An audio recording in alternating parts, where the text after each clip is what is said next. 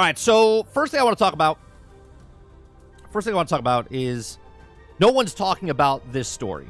Okay, nobody. There's one story. Okay, one one one outlet that I could find.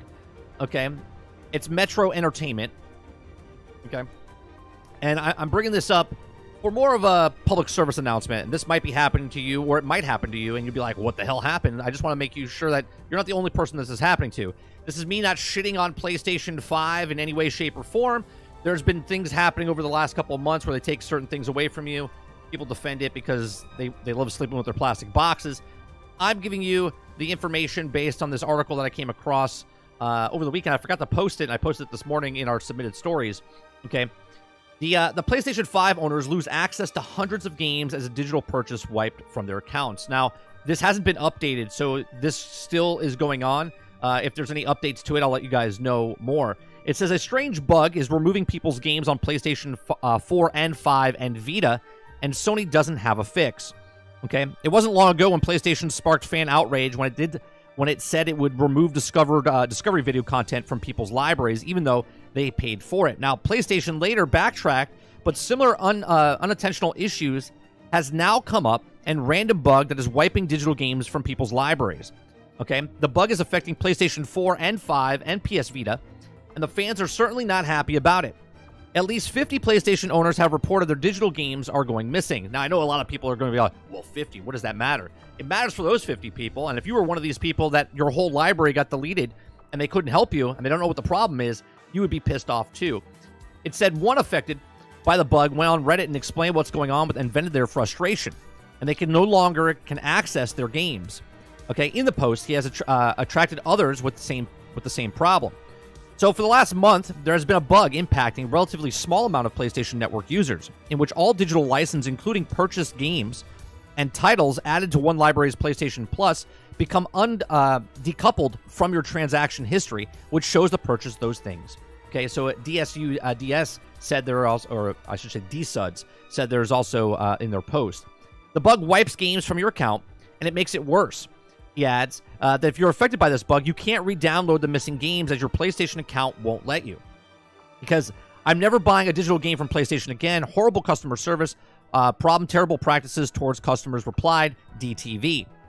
It says another poster pleaded for answers and got lost access over 400 of his games after trying to restore them once the bug hit their account, adding, he says, I'm a PlayStation user since PlayStation 3 has been an account bug is really bad. Hope Sony and PlayStation give the solution. And if someone knows how to resolve uh, this huge problem, please let us know, uh, GNT0 said.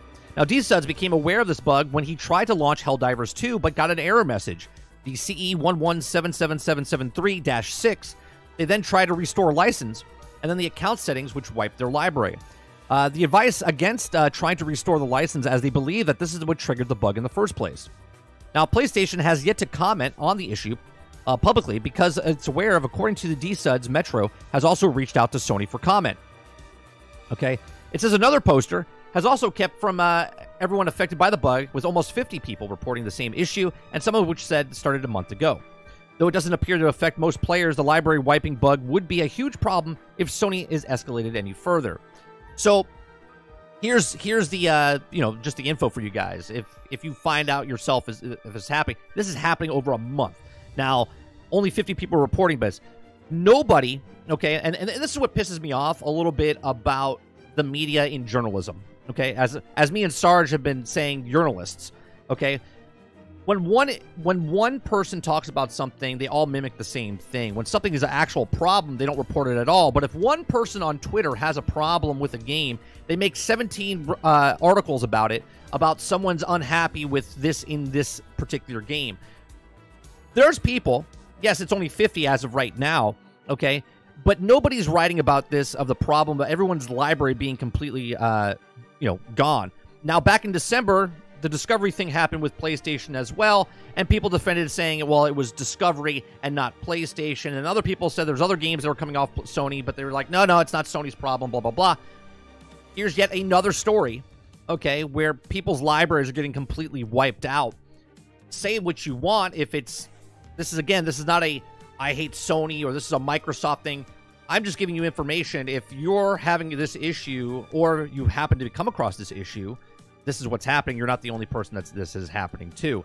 But this is some BS, uh, if you ask me. Like complete libraries completely wiped out. Uh, never a good thing. But they haven't they haven't said anything about it to, uh, you know, to say well we're working on it. They know it. They said nothing. But yet these people still don't actually have, okay, they still actually don't have a, a, a you know a solution for this because it's still happening to people that own a PlayStation 5. So there you go. Um, this is just a bigger issue in the life is that when digital games are happening, because all the games are going to become digital at some point, right? A lot of us like to buy the physical copies of the games. We've had this conversation until I blew in the face. Even when you have a digital, even when you have a physical copy, you still don't own the actual game anymore. You're buying a license. Now this is, opens up to a bigger conversation, right? Because people always have been saying, well, if if I buy a digital copy and I don't actually own the game, then if PC gamers, if they, you know, pirate the game, is that actually against the law? Technically, if you if you don't own the game, when you purchase the game, then if you download the game by pirating it, then it's actually not stealing it, right? Because technically you don't own it there either. I don't know. Let me know what you guys think in the comment section down below. Are you one of the people, as of this report on Monday, March 11th, okay? Are you one of the 50 people that had this happen to them where you can't access any of your libraries on PlayStation uh, 4, 5, or PS Vita? Let me know in the comment section down below. What do you think about this as far as digital? Because this is happening to Sony right now. This could also happen to Xbox in the future. This could happen to Nintendo. Anybody that has digital stuff, anytime there's a problem like this, you lose access to all of your media. This is a big problem. Robert Jones says, scary stuff. I had a PlayStation 5 green screen last night. What's a green screen? I don't know what that is. What? Negative PlayStation not being reported? You don't say. What's going on, Artemis? Uh, when 30 uh, accidentally answers a question you have, cha-ching. What, what question did you have, Krebsy? What, what was the question that I answered? Silent Warrior says, uh, restore your license. Nah, we can take all of them. Man, I only have three physical games on PlayStation 5 and dozen of digital ones.